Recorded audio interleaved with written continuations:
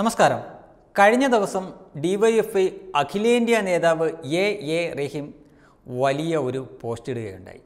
അതിന് സമാനമായിട്ടുള്ള ഒരു പോസ്റ്റാണ് സ്പീക്കർ എം ബി രാജേഷും ഇട്ടത്.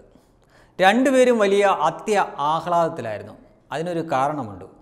ചിലിയിലെ തെരഞ്ഞെടുപ്പിൽ കമ്മ്യൂണിസ്റ്റ് പാർട്ടി തിരിച്ചു വന്നു എന്ന് ധരിച്ചാണ് അവർ ഇത്ര അത്യാഹ്ലാദം. അതവർ പോസ്റ്റായിട്ട് പ്രകടിപ്പിക്കുകയും ചെയ്തു. ലോകത്ത് ഇതാ കമ്മ്യൂണിസം തിരിച്ചു വരുന്നു എന്ന രീതിയിൽ നീട്ടിപ്പിടിച്ച് ഒരു പോസ്റ്റ് ഇട്ടു. അതിൽ ജയിച്ച ആൾ ഇങ്ങനെ കൈയൊക്കെ പിടിച്ചുകൊണ്ട് നിൽക്കുന്ന ഫോട്ടോ ഒക്കെ ഇട്ടിട്ടാണ് ഇട്ടിരിക്കുന്നത്.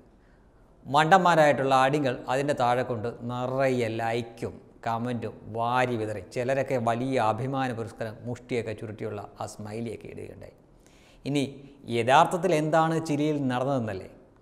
അവിടെ ജയിച്ച പാർട്ടി കമ്മ്യൂണിസ്റ്റ് പാർട്ടിയാണോ എന്ന് ചോദിച്ചാൽ കമ്മ്യൂണിസ്റ്റ് പാർട്ടിയാണ്. പക്ഷേ ഐഡിയോളജി അതായത് ആശയം ഇത് അവിടെയാണ് കാര്യമിരിക്കുന്നത്. എന്താണെന്നല്ലേ പറഞ്ഞു തരാം. ജയിച്ച ആളുടെ പേര് അവരുടെ പാർട്ടിയുടെ ലീഡറിന്റെ പേര് ഗബ്രിയൽ ബോറിക് എന്നാണ്. കമ്മ്യൂണിസ്റ്റ് പാർട്ടി എന്നാണ്. ഐഡിയോളജി ഡെമോക്രാറ്റിക് സോഷ്യലിസം പ്രോഗ്രസീവർ എന്നാണ്.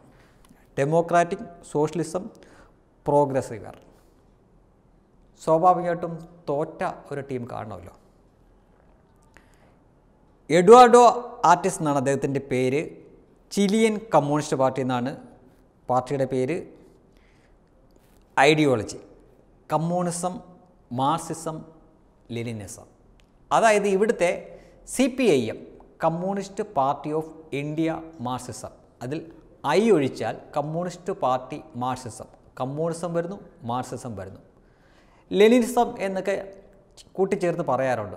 അതായത് ചുരുക്കി പറഞ്ഞാൽ ഇവിടുത്തെ സി പി എം എന്താണോ അത് തന്നെയാണ് അവിടുത്തെ ചിലിയൻ കമ്മ്യൂണിസ്റ്റ് പാർട്ടി. അവരുടെ ഐഡിയോളജി കമ്മ്യൂണിസം മാർസിസം ലെനിനിസം. ആ പാർട്ടിയാണ് തോറ്റത്. അപ്പോൾ കേൾക്കുന്ന നിങ്ങൾ വിചാരിക്കും അപ്പോൾ ജയിച്ച കമ്മ്യൂണിസം? അവിടെയാണ് അതിന്റെ രസം. ജയിച്ചവരുടെ ഐഡിയോളജി ഡെമോക്രാറ്റിക് സോഷ്യലിസം പ്രോഗ്രസീവർ എന്നാണ്. കമ്മ്യൂണിസ്റ്റ് പാർട്ടിയാണെന്ന് ചോദിച്ചാൽ കമ്മ്യൂണിസ്റ്റ് പാർട്ടിയാണ്. ഉദാഹരണം വേണോ? ഇവിടെ തന്നെയുണ്ട്.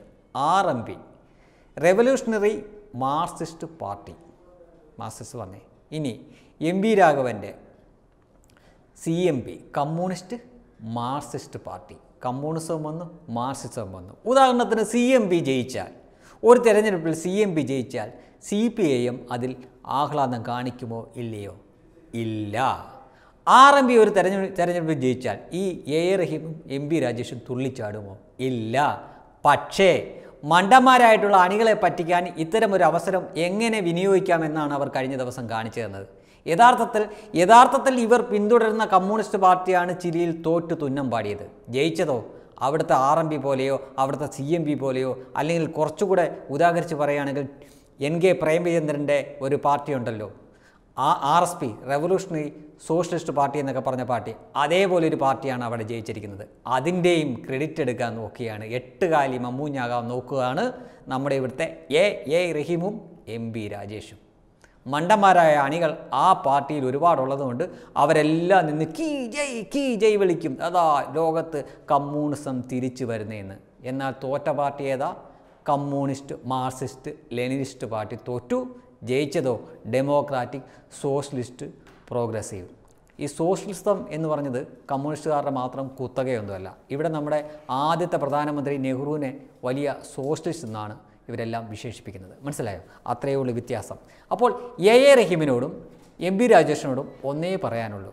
ഈ സോഷ്യൽ മീഡിയയുടെ കാലഘട്ടത്തിന് മുമ്പൊക്കെ ആയിരുന്നെങ്കിൽ നിങ്ങളുടെ ഇത്തരം ഞൊടുക്ക് പരിപാടികളൊക്കെ വിജയിക്കുമായിരുന്നു. ഇപ്പോൾ ഇത്തരം തട്ടിപ്പിനൊക്കെ കേവലം മണിക്കൂറുകളുടെ മാത്രം ആയുസേ ഉള്ളൂ എന്ന് നിങ്ങൾ കരുതുക. പിന്നെ ഇതും വെച്ചിട്ടാണെങ്കിലും നിങ്ങളുടെ അണികളെ പറ്റിക്കാൻ ഇതൊക്കെ ധാരാളം തന്നെ. പക്ഷേ എല്ലാവരെയും ഇതുപോലെ പറ്റിക്കാനൊന്നും പറ്റില്ല കേട്ടോ. വെബ് ഡെസ്ക് തത്വമൈ ന്യൂസ്